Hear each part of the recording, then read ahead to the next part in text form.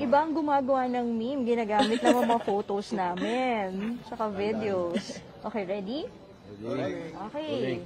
Hello, Rosmar. So, kamusta? Ano ang ah, ano, nag-udyok sa'yo para tumakbo as counselor? Counselor nga ba ang tatakbuhan? Yes po, counselor po. Sa totoo lang, tulad nga na lagi ko po sinasabi, wala naman po akong balak tumakbo dahil eh, dagdag sakit sa ulo, dagdag obligasyon, responsibilidad.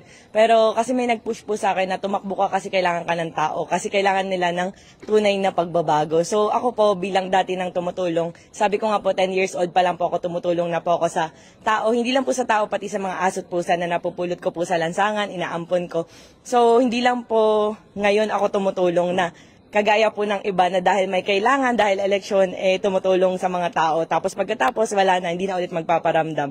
So, hindi po ako ganun, matagal na po. So, ngayon po, dahil pinupush po nila ako na tumakbo ka kasi kailangan ka ng tao. Kaya sabi ko, siguro nga mas marami akong matutulungan kapag ka nakaposisyon na po ako. Pwede ba naming malaman kung sino tong nag-push o nag-udyok sa'yo?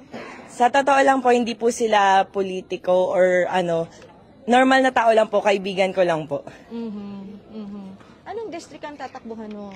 District 1 po. Mhm. Ah, independent. Marami pong kumukuha sa akin na iba't ibang partido, pero mas nananatili po na gusto ko maging independent para iwas pa pumulitika po. Pang ilang beses mo na tong ah, tatakbo, Rosmar?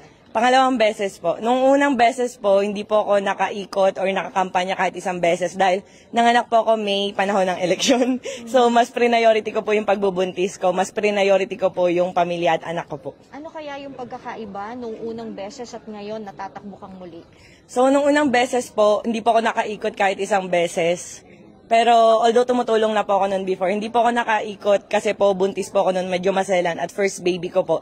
Unlike po ngayon na talagang sinisipagan ko po sa tulong na rin po ng mga kaibigan ko na sumusuporta po sa akin, lalo na po ng Shift International. Mhm. Tapos Rosmar, kasi parang before, parang napapabalita sa Laguna ka tatakbo. Tama ba?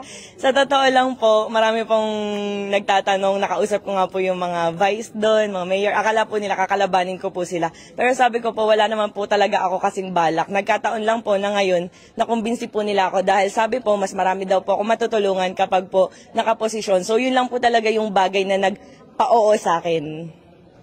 Pero with regards to lawmaking, yung pagpapatupad, paano naman natin i-compensate yon kung um, nandun tayo sa puros tulong, Rosmar? So, tulad po ng sinasabi ko, lahat ng bagay pwedeng matutunan. Hindi naman po ako bobong tao. Pagiging prangka, hindi po ako bobo. Nakagraduate po ako sa Far Eastern University, batch 2015. And section 1 po ako doon, pilot section po talaga ako.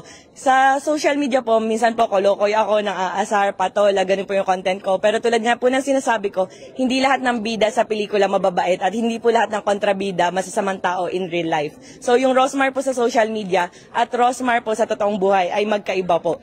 At yung content ko po na parang engot-engotan, tanga-tangahan, hindi po ganun yung Rosmar dahil masasabi ko naman po na matalino po akong tao. At hindi po doon nagtatapos yung pagiging politiko politiko dahil unang-una po sa lahat, anin po ang katalinuhan sa law or kung ano pa pong yan, kung hindi ka naman po bukal sa pagtulong sa mga tao. Kung yung puso mo wala po talaga sa pagtulong, nonsense po yun para sa akin. So seryoso na tayo ngayon.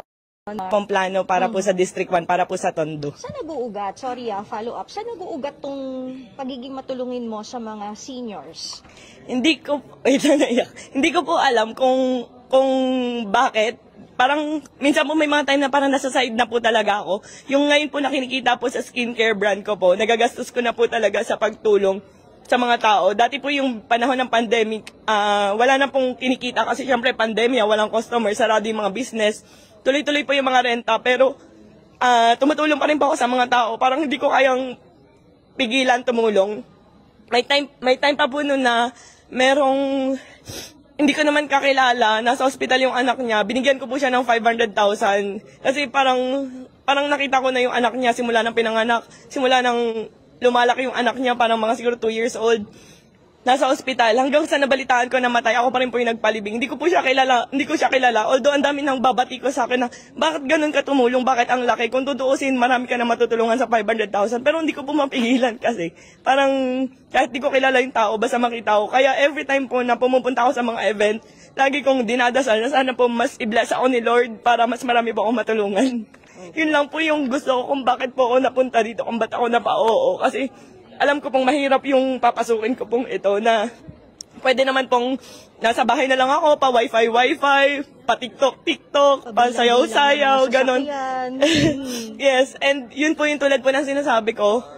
Hindi ko na po kailangan ng pera ng gobyerno, pera ng mamamayang Pilipino dahil meron na po tayong mga sports car, mga bahay, mga ari-arian at kung ano-ano pa. Sinisigurado ko po na yung mga pera po or yung sah- sahurin ko sa mapupunta po talaga sa tao. Yun lang po yung isa sa pinapangako ko po. Dahil may one time nga po, may senador po na sumusuporta po sa akin, nagbigay po ng 100,000 cash. Tulong ko daw po sa pagbigay po sa mga tao ng paayuda pang grocery. Na, nas grocery ko po nun is 98,000, may natirang 2,000. Binigay ko pa po sa bagger kasi ayoko pong kahit 2,000 sirain po yung pagkatao ko. Opo, gaguguman ako sa social media. Pero isa lang po yung sinisigurado ko po, hindi po ako kurakot na tao. Salamat. Thank you, Rosmar, and good luck. Thank you po. Ayan, malinaw na. Out na kayo. Kasama po. Ready. One, two, three. Okay. Ayan, mga kapatid. So, anong, ano, ano nakalagay sa balota, Rosmar Tan Pamulaklakin? Rosmar Pamulaklak. Ah, walang tan. Rosmar Pamulaklakin. Yung asawa ko po nasa labas kaso hindi na po sinapasok kasi dalawa lang daw po pwede. Ayan, mga kapatid, ngayong araw, nag-file po si Rosmar Tan Pamulaklakin bilang ah, sa pagkakonsihal ng Manila. Pamulaklakin. Good luck, Rosmar. Good